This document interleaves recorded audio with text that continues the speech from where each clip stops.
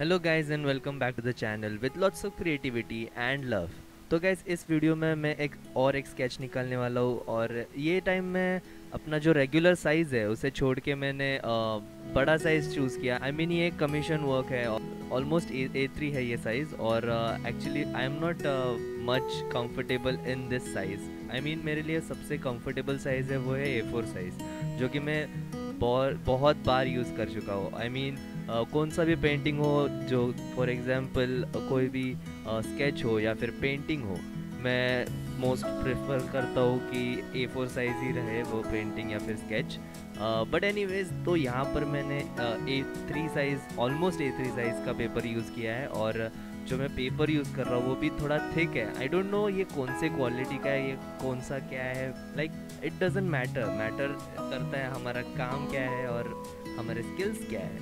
मैं इस particular sketch में मैं पेंसिल इंडेंटिंग टेक्निक भी यूज़ कर रहा हूँ। आई मीन लिटरली बहुत अमेजिंग ट्रिक है ये। अगर आपको, आपके हेयर टेक्सचर्स को, आपको बहुत ज़्यादा रियलिस्टिक फील लाना है तो pencil indenting technique is the best option you can do when you are like you are you want to make your sketch look अगर आपको भी पता नहीं होगा तो मैं आने वाले वीडियो में आपको बता दूँगा क्या होती है एग्जैक्टली और स्टेप बाय स्टेप प्रोसीजर भी बता दूँगा कि पेंसिल इंडेंटिंग टेक्निक कैसे यूज़ करी जाती है। और लिटरली मैंने हेयर टेक्सचर्स निकलने में बहुत ज़्यादा टाइम लगाया आई मीन लिटरली बहुत ज़्यादा टाइम लगाया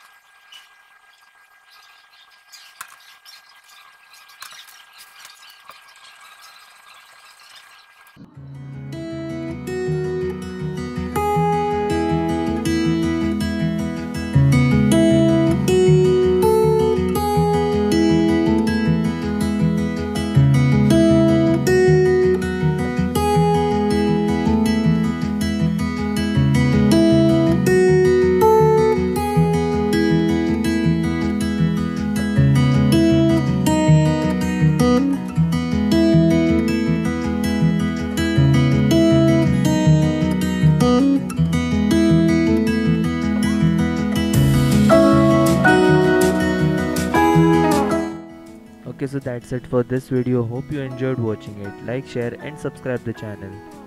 And until next time stay creative